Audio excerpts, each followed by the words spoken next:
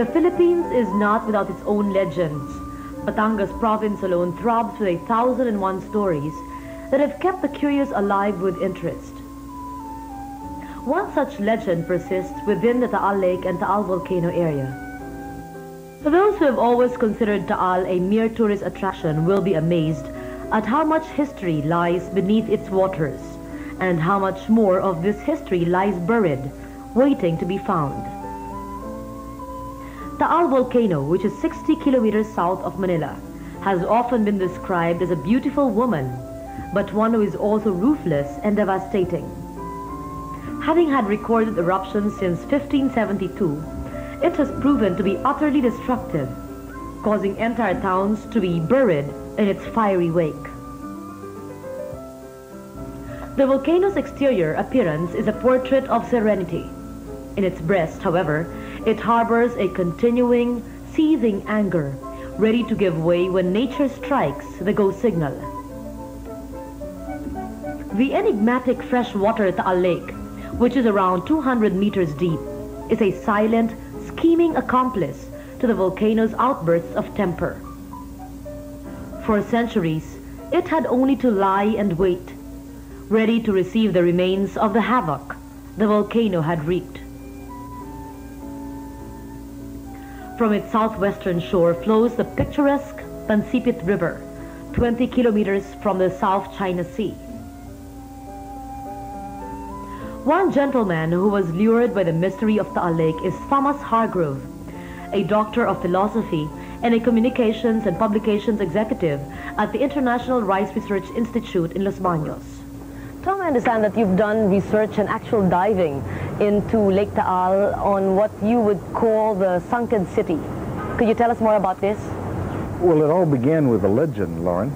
Uh, back in 1979, a fellow, his name is Urbito Anglio. He's the head of photography at the International Rice Research Institute where I work. Told me a story over coffee that of a legend of a sunken town in church in Lake Taal. As an amateur diver with a multi-dive experience in Philippine seas, Hargrove's excitement over Onglio's story was unlike that which he had felt before. The prospects of making a dive into Lake Taal's murky depths were clearly a challenge to him. Armed with a legend, Hargrove and his party took up Taal's challenge. It was only the beginning of a search for historical truth, a search that has taken him so far to places beyond Philippine shores, to Mexico City, and to his own homeland, and into the distant past. One day in February of 1980, a group of us, um, we went to Balete on the eastern shore, and there we hired two fishermen's bancas, and we went down south to this barrio. You can imagine this barrio is very remote and cannot even be reached by road, only by boat.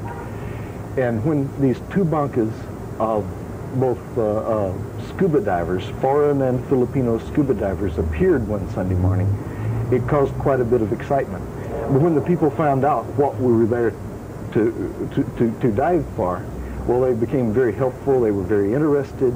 Uh, and they all told us where the sunken church was. But one person Was... Historical records allege that Lake Taal was settled in the 13th century by Moro immigrants from Brunei and Borneo. Pirates destroyed the first town of Taal near what is called Balangon, where Hargrove and his companions subsequently found the remains of an early settlement, including the remnants of an ancient cathedral that was constructed from coral rocks. The structure is hardly visible from a distance now, obscured as it is by dense growths.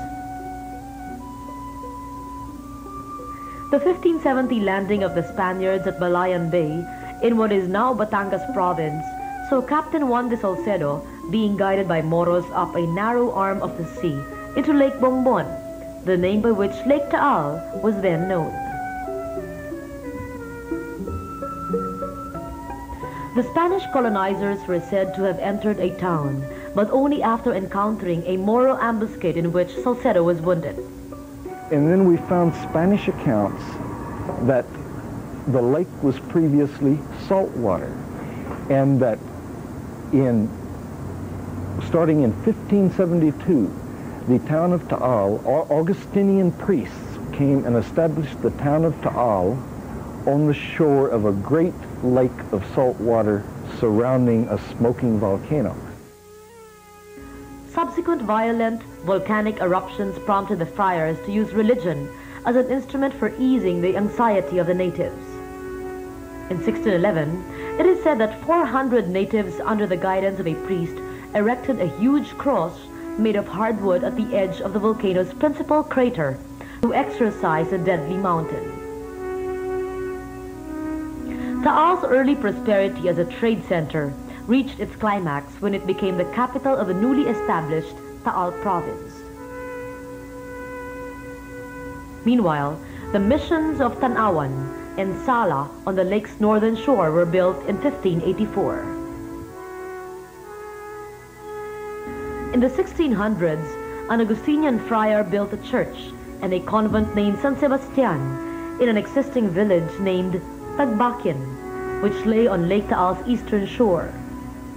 The patron's image was said to have disappeared and later found by a lipa tree to the north of Tagbakin. To this new site moved the entire settlement, and it was renamed Lipa. Taal volcano often went on a rampage, spewing forth its fury with alarming regularity.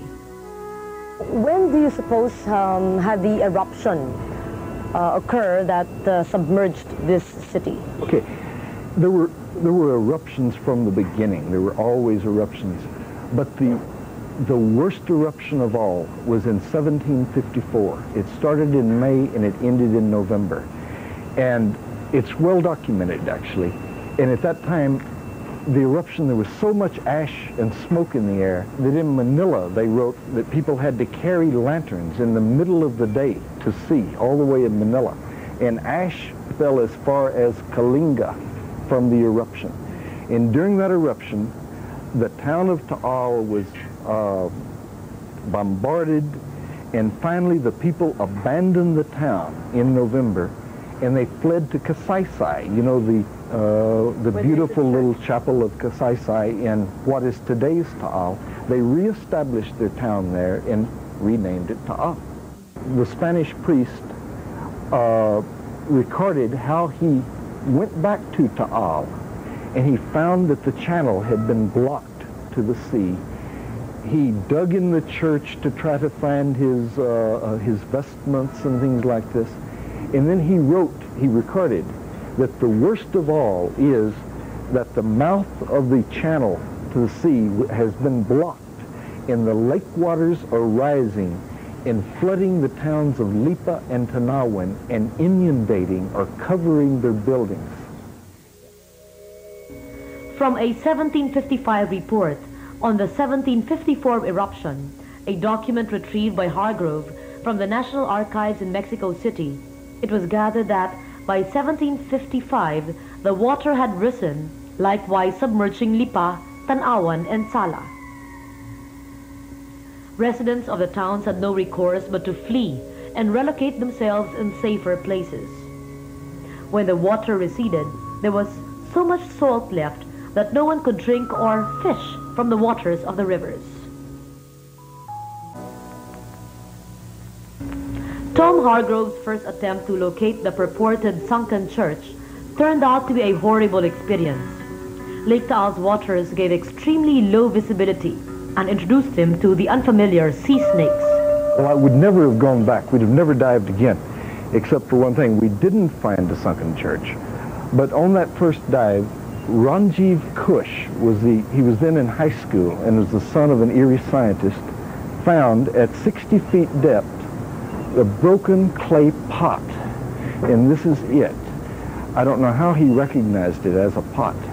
And he brought it up, and then we took it to the uh, National Museum, the archaeological section. They kept it a couple of weeks and dated it as 15th or 16th century, pre-Spanish. And here you see we, we cleaned this off.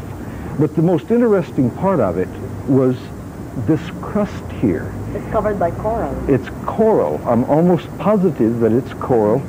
we've dipped, uh, dropped pieces into uh, hydrochloric acid and it bubbles, which means it's calcium carbonate, that it's organic.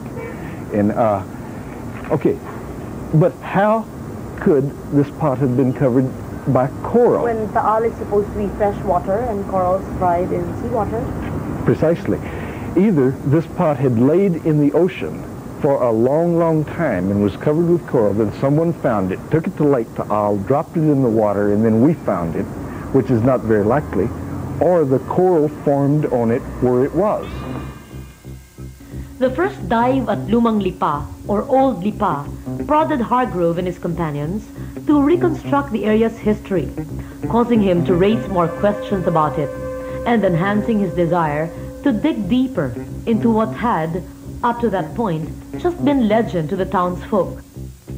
Did you ever wonder why the town of Taal is not on Lake Taal, but it's over on the ocean, right? Yes. The answer is because it used to be on the On the- southern shore of Lake Taal. The original Taal town is still there, where San Nicolas is today. But the towns of Lipa, Tanauan, and Sala were certainly not where they are presently. Based on chartings of the movements of the Taal towns, it appears that there may have been as many as 12 sites for them, four of which may now be lying at least 10 meters beneath the lake's waters. As bits and pieces slowly began falling into place, Tom returned again and again to the lake area to gather more data. What evidences, Tom, have uh, you discovered in the process of your diving and your research that led to the creation of this uh, sunken city legend, or is it a fact now? After we found this pot, then we started reading, then we went back to this barrio. And there, fishermen asked us to look at something else that's interesting. They call it sapao, uh, S-A-P-A-O, which uh, they say means underwater, built up things under the water. And they took us to this place, and we dived down, and there we could see these walls that are built up of stacked stone at about, uh, the bottoms at about 30 feet deep. And from there then, I started, we started doing more research. Uh, and I was at the National Archives one day in Manila. And I was going through old Spanish documents.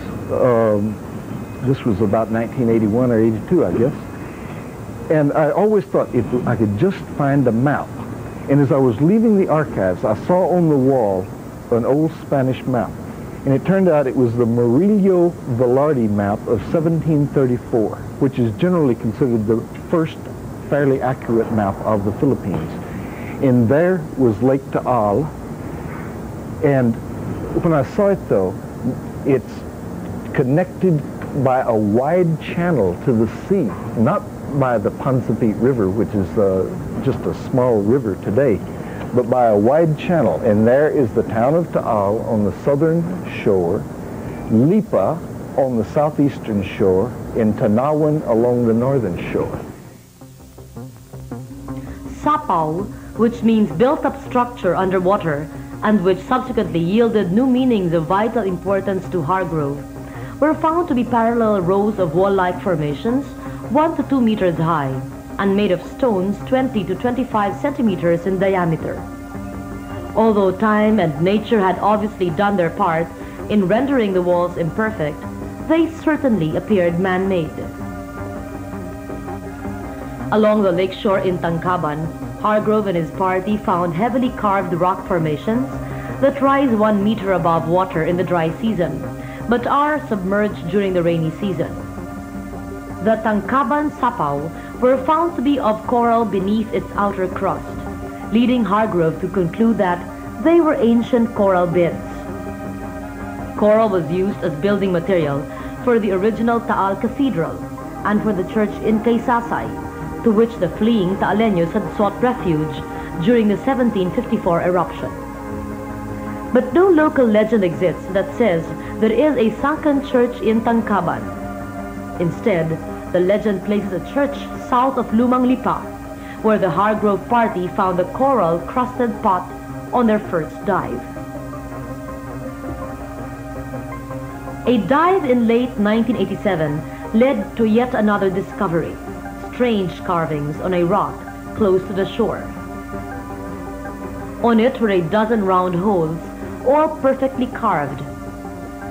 One could only surmise that these holes could have supported the base of a large light post, an immense cross, or a lookout tower or tanawat. Then, the party saw a wedge with a flat bottom, which turns to a 1.5 meter cul-de-sac to the north. Again, it could lead others to believe that it could have been an emplacement for a small cannon to guard Tanauan from ships invading the volcano island from the southwest. Or again, the base of a large cross the Augustinians may have erected to exorcise the volcano. Furthermore, there is what the group had come to call the slot, also a perfectly chiseled structure, 70 centimeters long.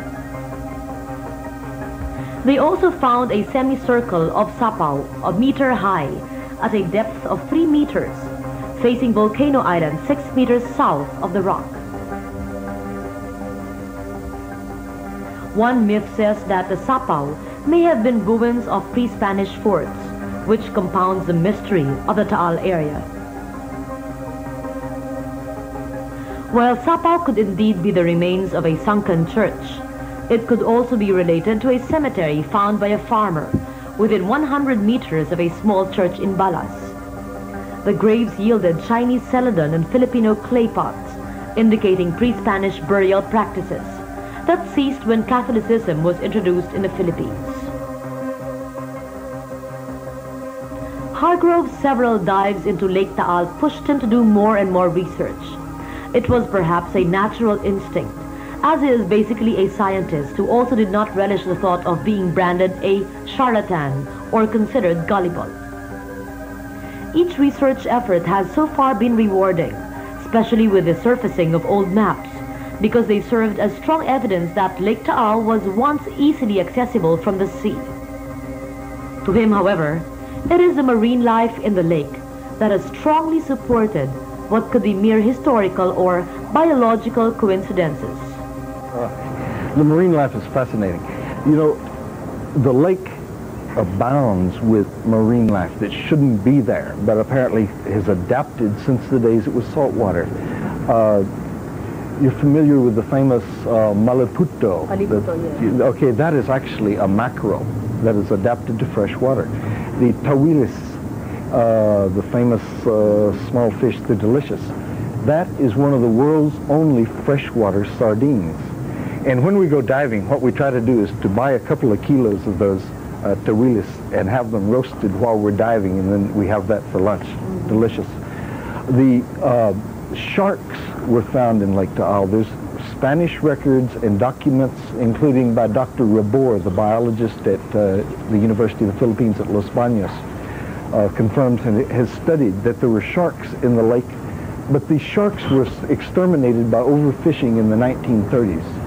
But the most prevalent thing that you see are the sea snakes. They're very poisonous. They're the same sea snakes that are found that you see in the ocean off of the uh, in Philippine waters. Uh, uh, there is oh as long as maybe two meters or six feet, no, maybe five feet long. Black and white banded with flat tails and little bitty small mouths. And uh, it's the world's only freshwater sea snake. Hargrove has had marine plants scientifically examined abroad and achieved results showing they belong to the sponge family, which is normally found only in seawater. Hargrove's most recent dive revealed more sponges and a deep-sea coral reef.